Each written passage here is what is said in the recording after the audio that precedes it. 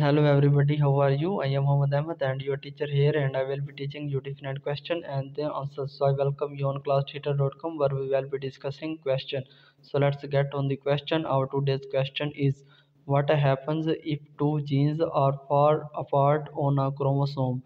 The correct answer of the question if they are far apart they are less likely to be inherited together so that's the correct answer of the question. If you have any question just leave a comment. I will be answering you as soon as i can. Thank you very much for watching the video. Please don't forget to like share and subscribe our channel. Until next question. Bye bye